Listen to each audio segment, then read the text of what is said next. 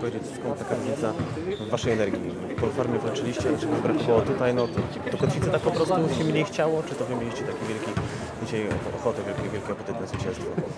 Ale na pewno my mieliśmy wielkie, wielkie apetyt na zwycięstwo. No jak pokazują ostatnie trzy domowe mecze z Anwilem, z Czernym i teraz z Kotwicą w domu jesteśmy na pewno groźni. E, Ta, ta energia fanów e, e, daje nam, daje nam, daje nam moc, e, tą, tą energię, którą potrzebujemy do, do, do zwycięstwa. No i, i, mówię, no tutaj ten z Polfarmą, no to tak naprawdę, że nie wypadek przy pracy, ale, ale, ale gdzieś tam jakieś, jakieś potknięcie, jakieś lekkie załamanie i, i, i tyle. No. A, a, a wiedzieliśmy, że, że w domu będziemy na pewno groźni i będziemy damy siebie wszystkim. Pierwsze części spotkania podkoszowi rywali Harris i Brown no, bardzo daje nam się w kość. Pan jako podkoszowy też może coś na ten temat powiedzieć. Jak się gra w przypadku tych zawodników? No, na pewno ciężko. No.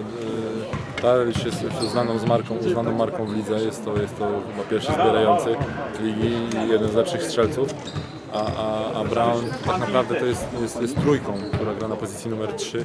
Jest szybkim, silnym zawodnikiem, jego penetracje są groźne. No, dzisiaj, dzisiaj to pokazał.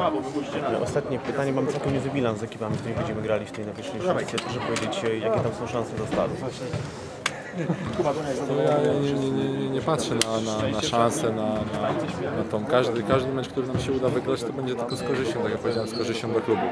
I, i, przynosimy, będziemy, przynosimy będziemy dumę i, i chwałę temu klubowi, bo jesteśmy w playoffach. Nie ma, nie, tak naprawdę nie ma żadnej presji, czy wygramy, czy przegramy.